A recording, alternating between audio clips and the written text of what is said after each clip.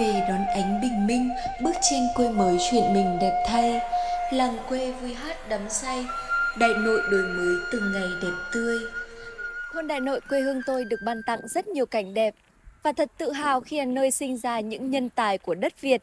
Trong đó không thể không kể đến đồng chí Kim Ngọc, cố bí thư tỉnh ủy, cha đẻ của khoán hộ đã giúp người dân thoát khỏi cảnh đói nghèo, được nhân dân hết mực yêu quý tôn trọng.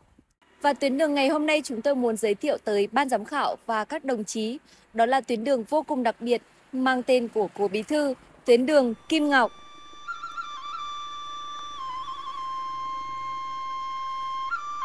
Bước qua cổng làng, đi trên con đường bê tông rộng mở nối dài, ai cũng nhận ra sự thay đổi về môi trường, cảnh quan làng quê so với những năm trước đây.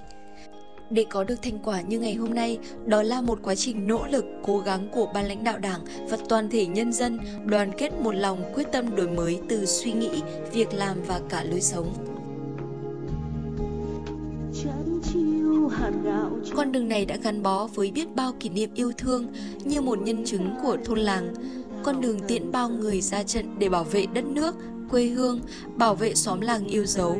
Con đường chứng kiến những người con xa quê đi học tập, lập nghiệp nơi phương xa đất khách quê người, chứng kiến bao nỗi niềm vui buồn của người dân quê. Con đường ấy, con đường đất đỏ ngày nào giờ đã khoác lên mình lớp áo bê tông kiên cố rộng rãi. Vào những ngày này, để kỷ niệm 94 năm ngày thành lập Đảng Cộng sản Việt Nam và hân hoan chào mừng Xuân Giáp Thìn 2024, người người nhà nhà nô nức treo cờ Tổ quốc, như khoác lên cho tuyến đường một chiếc áo mới vô cùng rực rỡ. Với chiều dài 518m, tuy không quá dài, nhưng tuyến đường này lại là nơi tọa lạc của ba ngôi trường chính tại xã Bình Định. Đầu tiên, hãy đến với trường mầm non Kim Ngọc với gần 600 em học sinh. Tiếp đến, đó là trường tiểu học Kim Ngọc với 1.000 em học sinh. Phía sau trường tiểu học là trường trung học cơ sở Kim Ngọc với 800 em học sinh. Để được mãi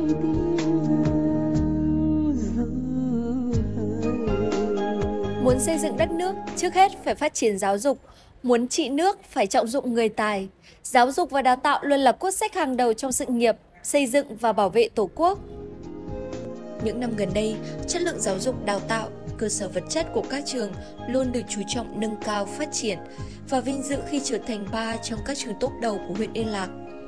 Chính vì vậy, tuyến đường Kim Ngọc có thể nói là một trong những tuyến đường quan trọng nhất của xã Bình Định. Chắc chiêu hạt gạo trắng ngân Mẹ nuôi ta lớn tạo tần sớm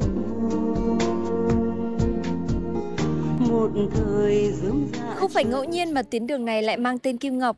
Điều đặc biệt đó là tuyến đường này còn dẫn vào nhà của đồng chí, cố bí thư tỉnh ủy Kim Ngọc, cha đẻ của khoán 10, người được đánh giá là có tầm nhìn đi trước vượt thời đại và là một trong những người tiên phong trong hành trình đổi mới đất nước. Đây có thể là một địa chỉ đỏ mà các bạn học sinh, sinh viên trên cả nước có thể đến tham quan. Một đời in dấu mẹ cha tháng ngày, nắng mưa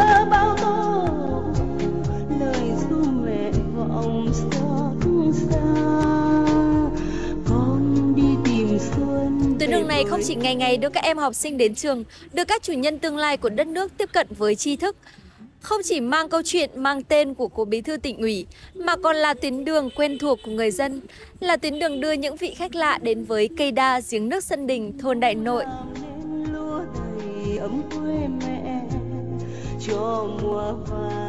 Đình làng là nơi thờ thành hoàng làng, người có công xây dựng làng, được dân làng tôn thờ, là nơi tôn vinh những giá trị văn hóa được mọi người công nhận, là biểu tượng, là cốt cách, là văn hóa của làng xã, là dấu ấn về kiến trúc của từng thời kỳ.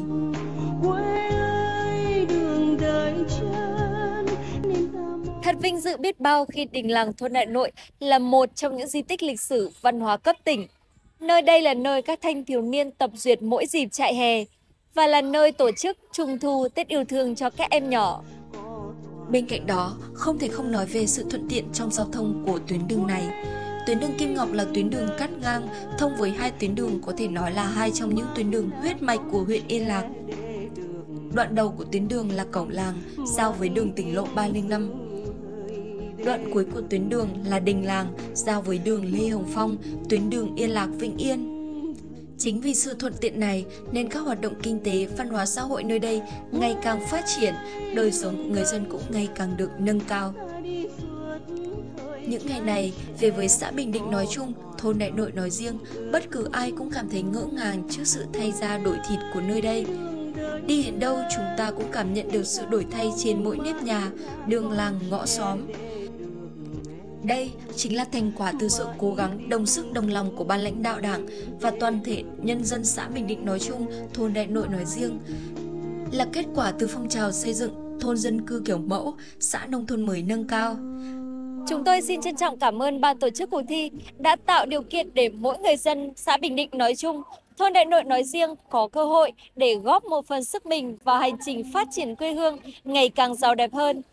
Cảm ơn quý vị đã quan tâm theo dõi. Xin chào và hẹn gặp lại!